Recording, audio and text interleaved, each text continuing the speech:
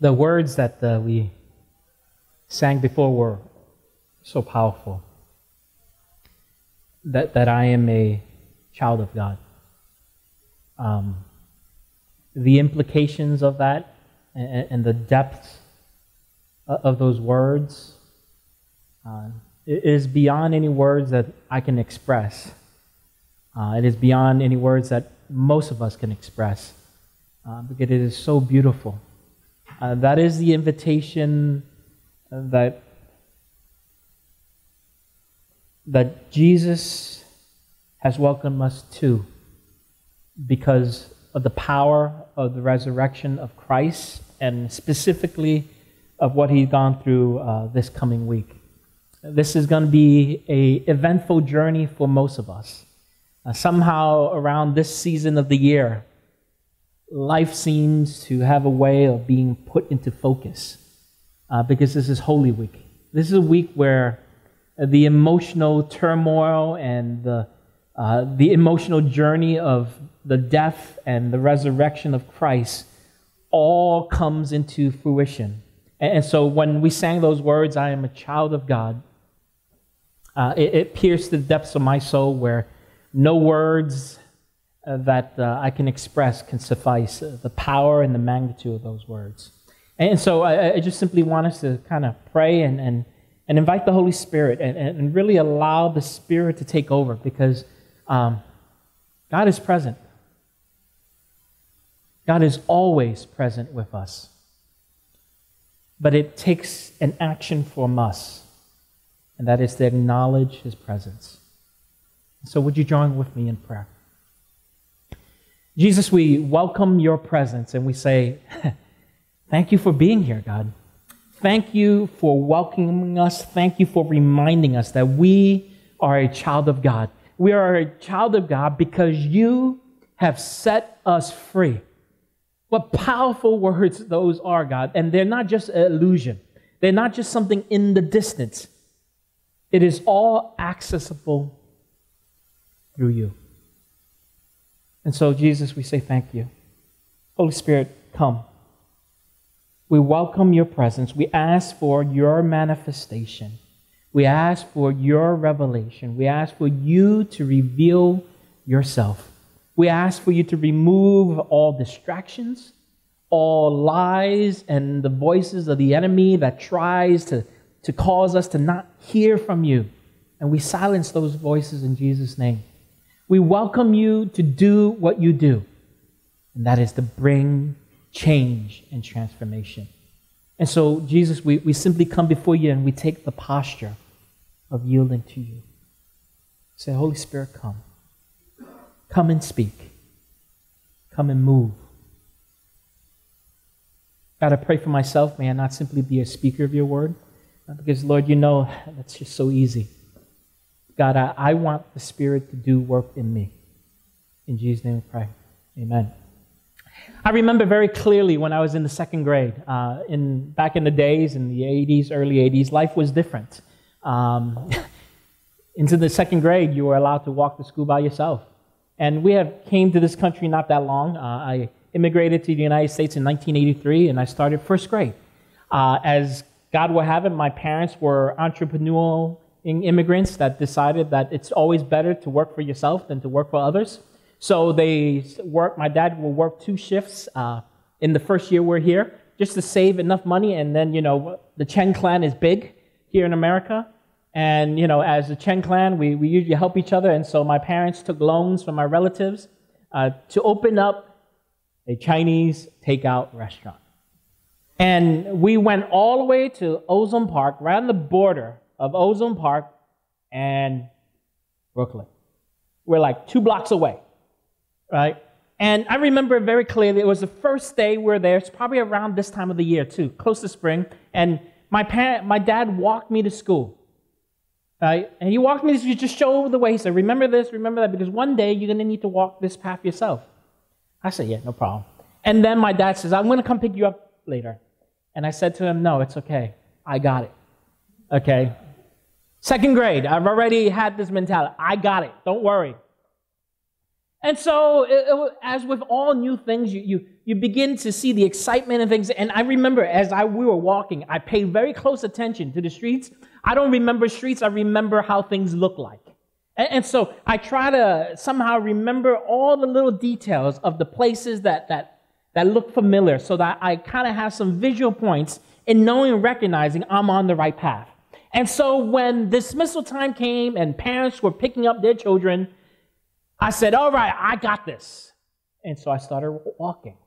We got out, I believe, at 3 o'clock. And we started walking. And then I, I don't know, I was walking and I was looking around just to find the right points and, and trying to recognize that did, did I go here before? Uh, did I go there before? And as I was wandering, I, I was wondering, man, is this the right way to go home? Is this the right path to get there?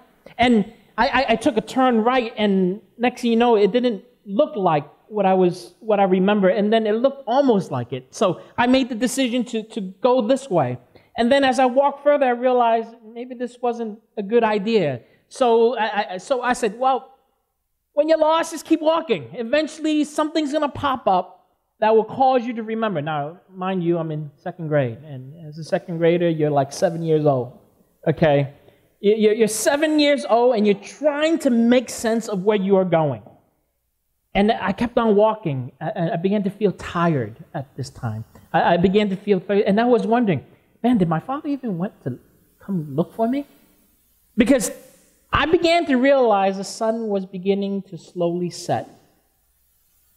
And somehow, all of us, I, I don't know what happened. I, I, must have been God's divine intervention because somehow I recognized something and I made a quick turn. And next thing you know, it put me right on the road where I remembered.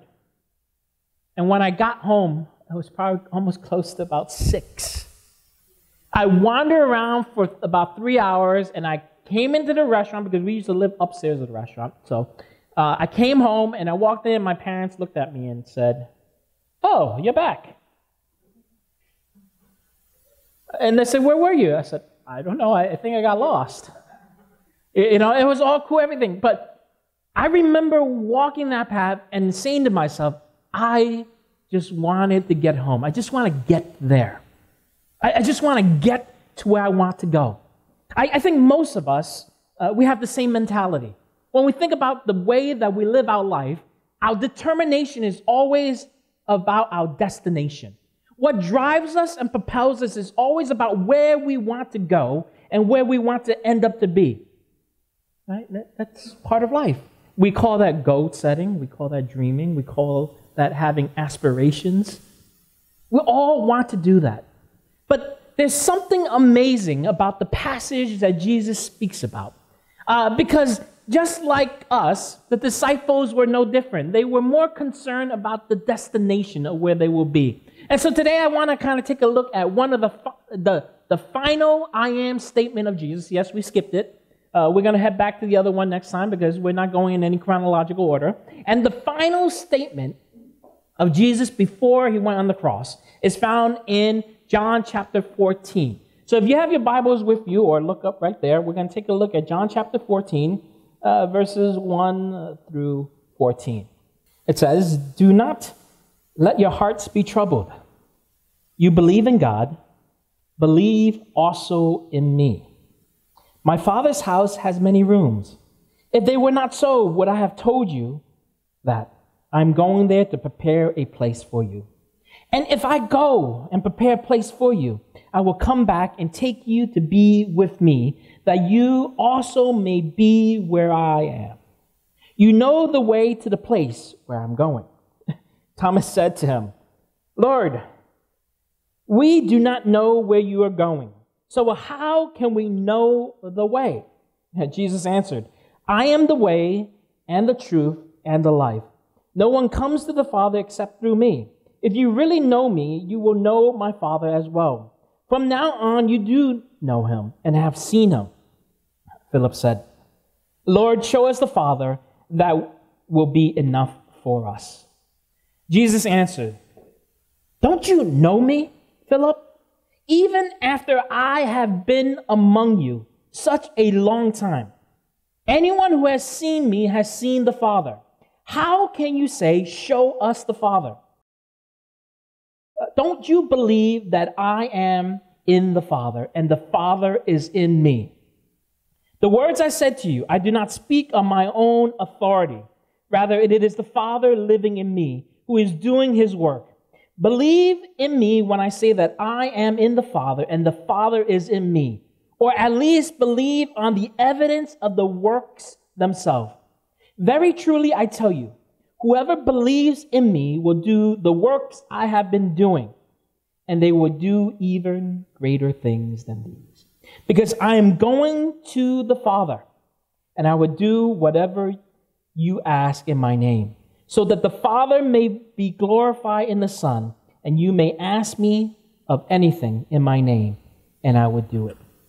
This is such a profound statement that Jesus makes in the last I am statement because he says, I am the way, the truth, and the life. Most of us, when we think of this passage, we're thinking about heaven. Most of us, when we think about this passage, we're thinking about heaven. But we have to put this passage in context. In chapter 14, the beginning, Jesus makes a profound statement because we know where they're at. They're, they're in the upper room, and this is probably the night before Jesus is about to get crucified. This is before Good Friday. So this is the night they had the Passover feast, and Jesus just washed the disciples' feet and says, I'm leaving. And now the disciples are going, Oh my goodness, what, what, what, what do you mean you're leaving?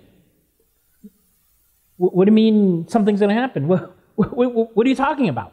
And so you can see the anxiety and the tension in, in their heart. You can see the, the, the doubt in their mind. And Jesus says, Do not let your hearts be troubled. And then he makes this statement In my Father's house, there are many rooms. And I'm going there to prepare a room for you. And when I've done so, I will come back and get you. This statement caused the disciples to scratch their head because this is a statement of engagement. And what I mean about engagement, I'm not talking about like meeting each other, I'm talking about getting married. This statement that Jesus made, he gives a picture of how the engagement process is at that time. Because the process is when two people get engaged in that time, they get engaged. Guess what? In that engagement period, the guy has to leave and they can't see the girl. He has to leave, not only because he has to leave to go to his house where his father lives and begin to prepare a place, a room until that room is built, he cannot go and get his bride because then the bride has nothing to return to. And so in the old days, what happens is they'll have houses. If, you, you know, I understand this because that's how my clan is back in the days in China. I actually went to visit my ancestral home uh, in 1996, and I could see there was a courtyard in the middle, my grandparents' house over here, my granduncles over here, right? They're right next to each other, right? And then our house right here. It was built right next to each other. And so this is the exact same picture of how the, uh, the people in, in the Near East were, right? When Jesus says, I'm going to my father's house, he's speaking of engagement language. He's basically telling them that, listen, there is something so beautiful that is happening, right? This is my love for you. This is my desire for you that I am going to go to my Father's house and prepare a room for you so that we can truly be together forever. That we can truly be in this union. That we can truly complete this expression of love. And so Jesus was telling them listen, what is going to happen next is so beautiful that it is like a wedding beginning to unfold.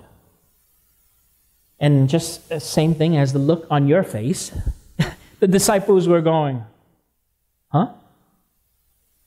Obviously, they're all looking at each other. Nobody want to say anything. So, guess who needs to say something? The guy who doubted the most. My man Thomas steps up to the plate and says, Lord, you know, it's great. You know, you're going to prepare a place for us. Um, we want to go where you're going. Because if you leave us, we're going to be missing out on all the stuff that we've been getting. Imagine the disciples that were all there. They all wanted to be with Jesus because of where he was bringing them to. Right? And in their mind, it wasn't eternity. They all hooked up with Jesus because of what Jesus presented to them and the destination that Jesus will bring them to. Take Matthew, the tax collector, here. A man that wasn't accepted by society, but he hanged out with Jesus, and Jesus was cool. Jesus was a man that gathered crowd, and Jesus was a man that receives applause. Why wouldn't Matthew want to go where Jesus is? The destination that Jesus could bring Matthew. Because wherever Matthew went, from a man who was booed, spit on, why wouldn't he? How about Peter? When you're uneducated, you talk like you're from no man's land. You talk as if you marry your cousin's sister, right? Which means your cousin.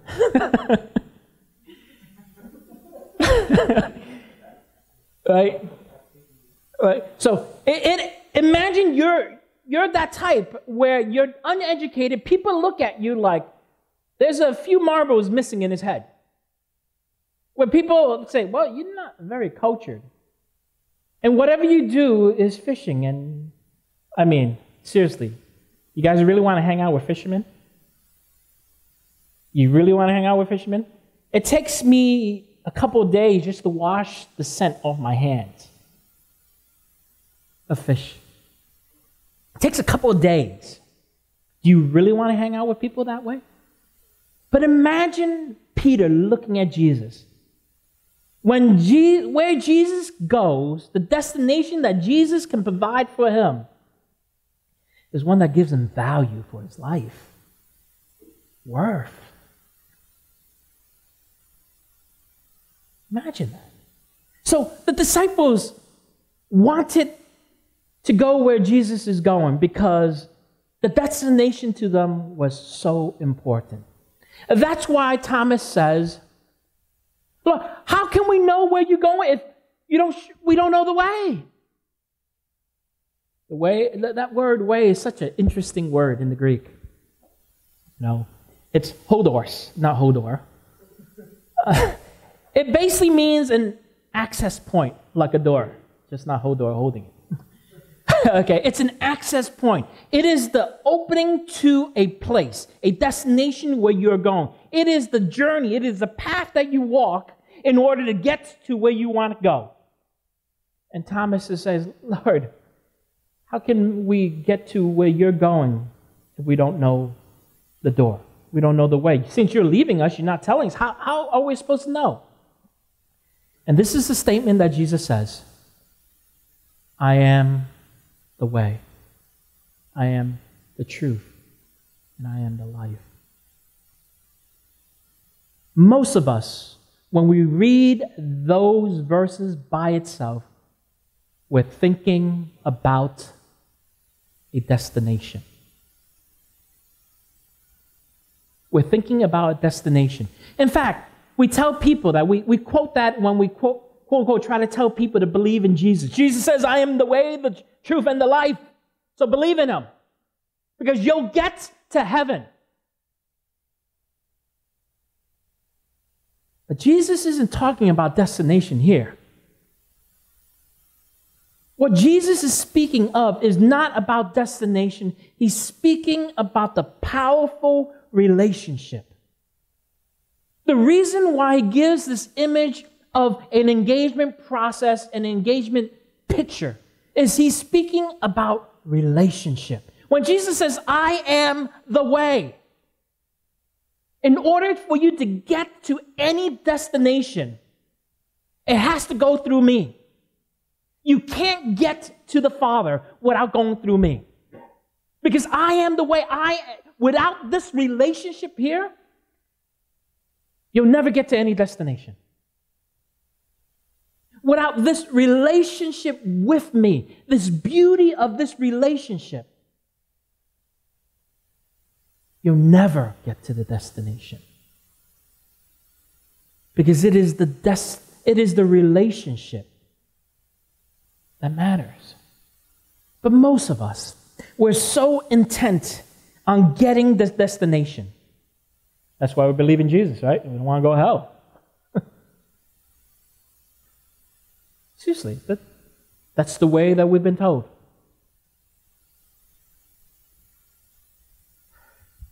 If you were to die today, where will you go?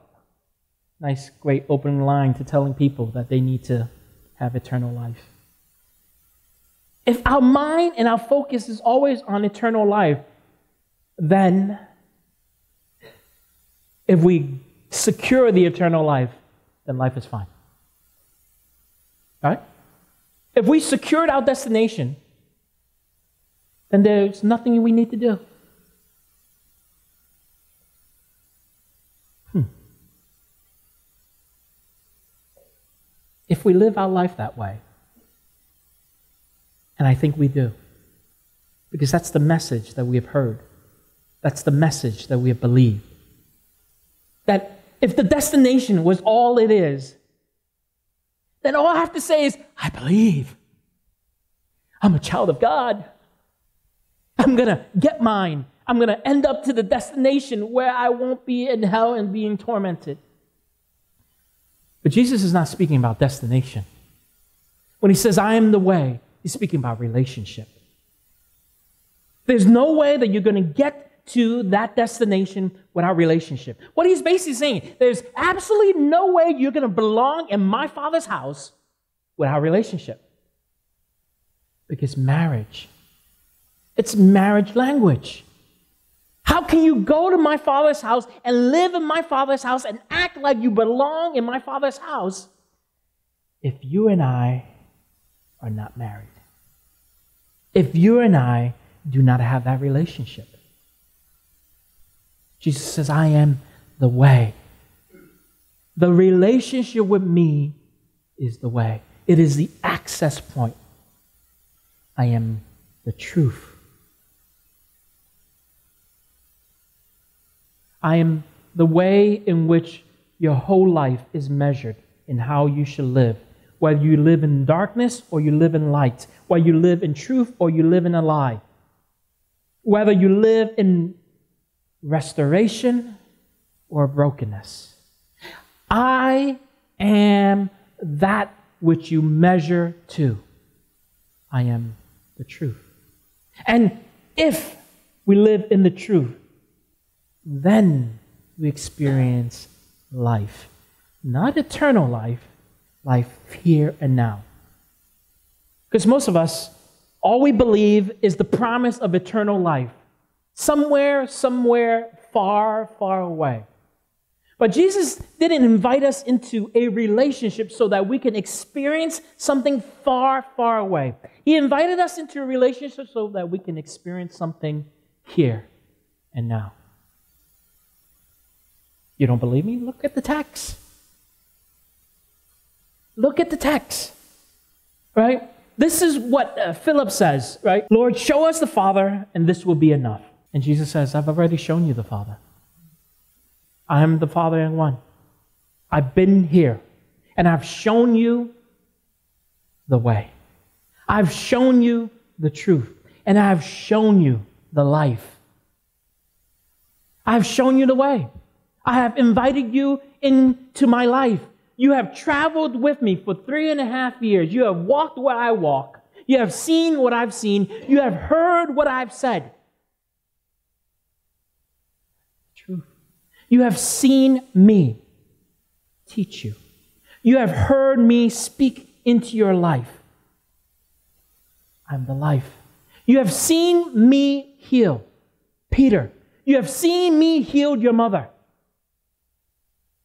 You have seen me cast out demons. You have seen me do amazing things. I am the way, the truth, and the life. You have experienced it because you have a relationship with me.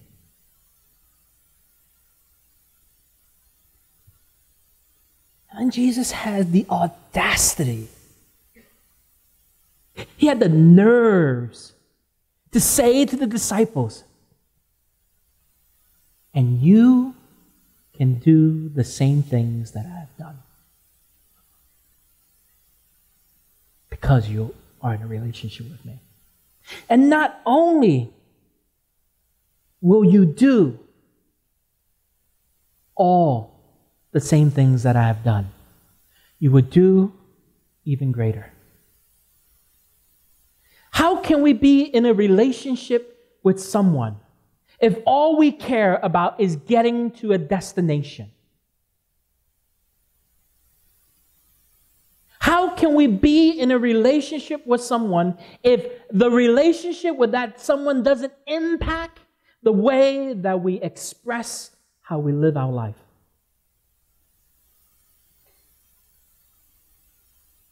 If it doesn't, then all you care about is being and going to a destination.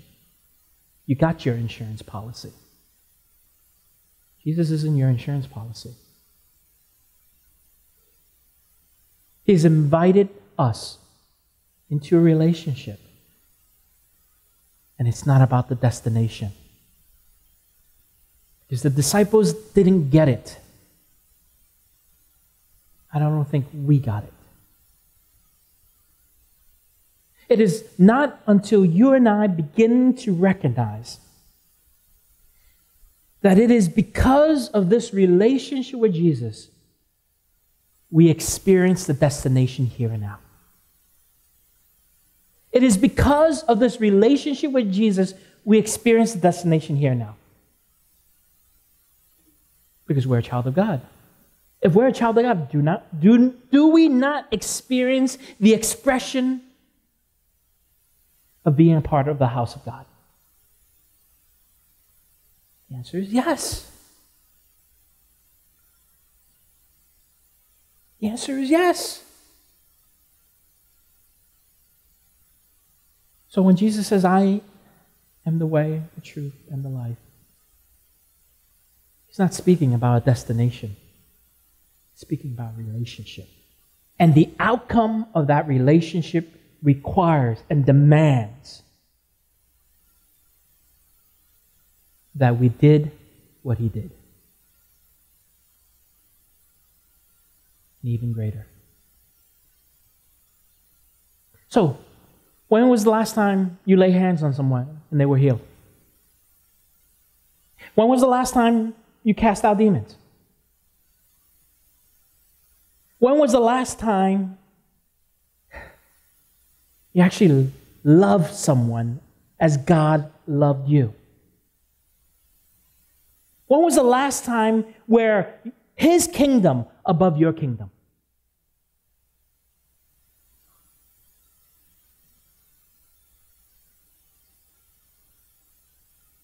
When was the last time where we said, Yes, Lord, and not maybe? When was the last time when we say, I'm right here, instead of maybe later? Because the relationship demands that we did what he did, and even greater. I was at a wedding yesterday. My sister in law, who so happens to be seven years younger than my wife. She missed being under my watch. Because when I came on staff at the last church, she just graduated high school. You know, if only she had a year with me, maybe her life would have been radically different. but uh, those of you know who my sister in law married, um, awkward uh, my brother in law is a little awkward to say um, because you know how I carry myself. I carry myself with dignity, carry myself with maturity, with a sense of, you know, authority. My brother in law, on the other hand, hmm, I don't know about that. And so I jokingly told them Friday night at the rehearsal, I said, Joe, you're going to become my brother in law now. You understand the magnitude of that? I was seriously tempted to say, Welcome to the family, Joe. You're my brother in law. Don't make me look bad. but imagine if my brother in law and my sister in law got married because they cared more about the status of being a part of that family. Imagine if the whole wedding was based on the fact that my brother in law married my sister in law so that he can call me his brother in law. Imagine how ridiculous that would sound. Imagine how ridiculous it would sound if all my sister in law wanted to do was to marry my brother in law because so that she can change her last name to his last name. Imagine how ridiculous it was just so that they get married, just so that they can have that wedding, just so that they can have that nice fancy pictures being taken, just so that they can expend all that money. Imagine how ridiculous that would sound. Most of us will say, You crazy fool. Now take yourself and look at yourself in the mirror.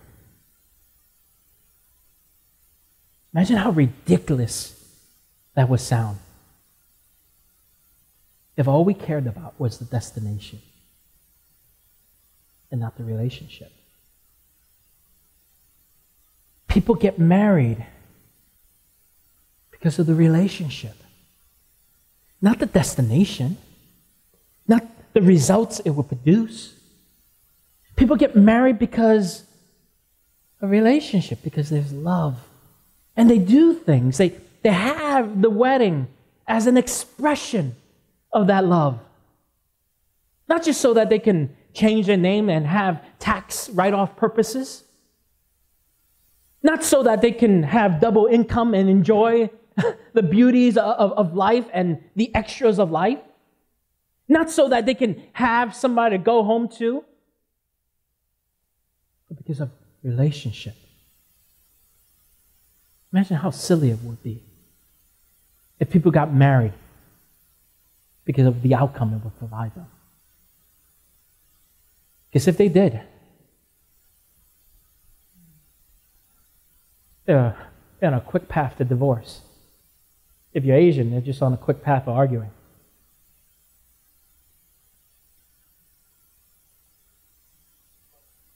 Imagine how silly that would sound and how foolish that would sound. So then, why do you and I take the words of Jesus when he says, I am the way, the truth, and the life about destination in that relationship? If we say that if people get married because of that, that that is foolish, then why do we feel that it is okay? When we are concerned more about our destination with Jesus than our relationship. I'm going to invite the worship team to come up. I, I come from the school of thought that says talk is cheap.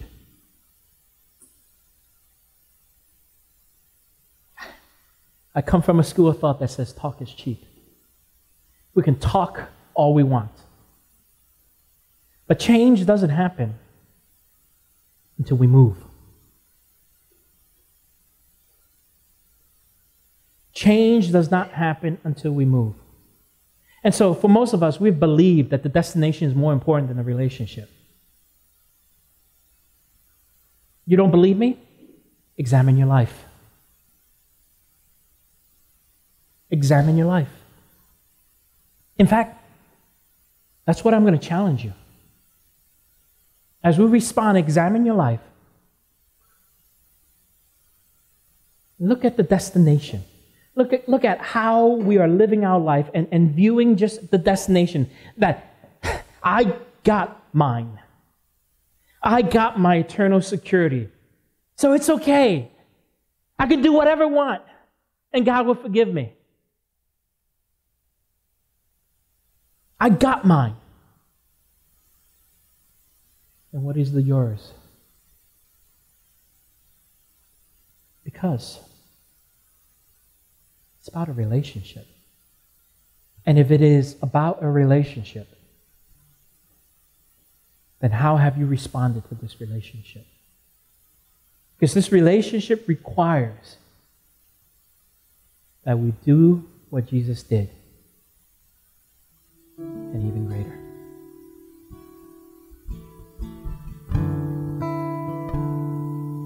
Jesus was about his kingdom. It was about his mission. It was about other people.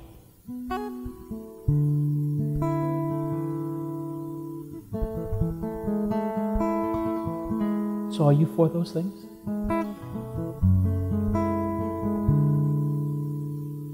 Or you just simply for your destination? That you want Jesus to be a part of your life so that you can get to where you want to be.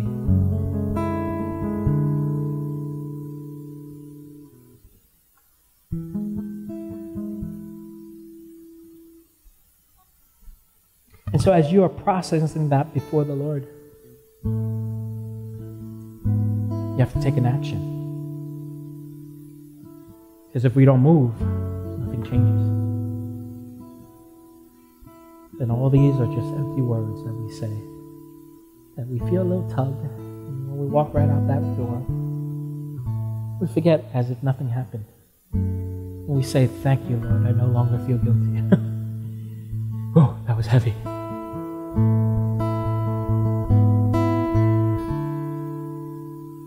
But if you want to walk out that door the same, go right ahead.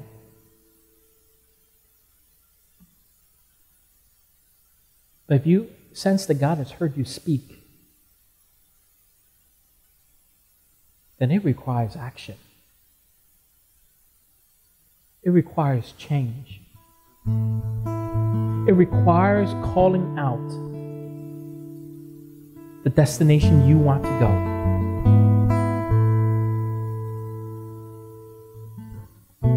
Saying, I'm not going there anymore.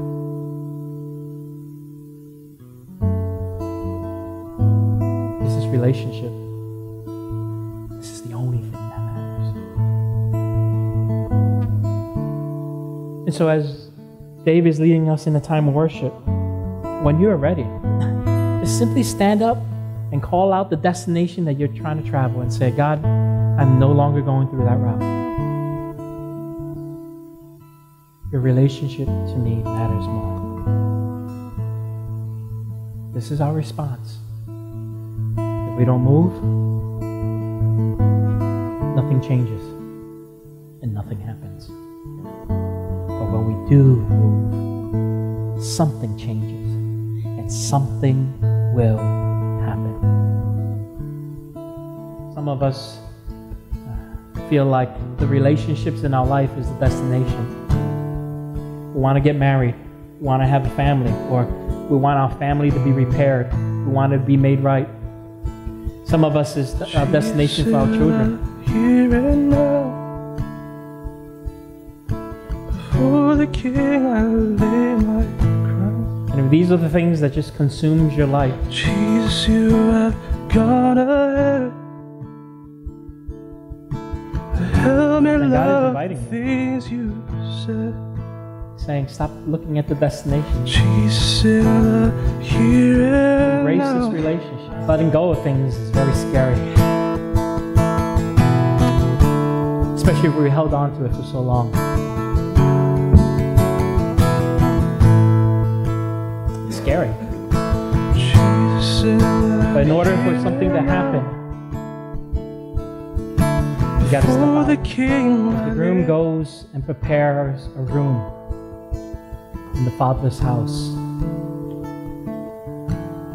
The bride had a task as well. And the task was to wait and to be faithful. To wait and to be faithful. To be faithful to the relationship.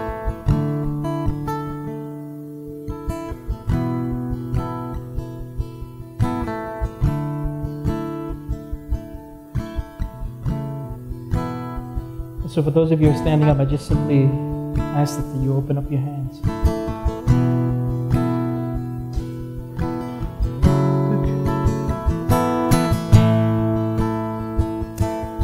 Visualize your hands as Jesus takes your hands. Just as if it was a wedding ceremony.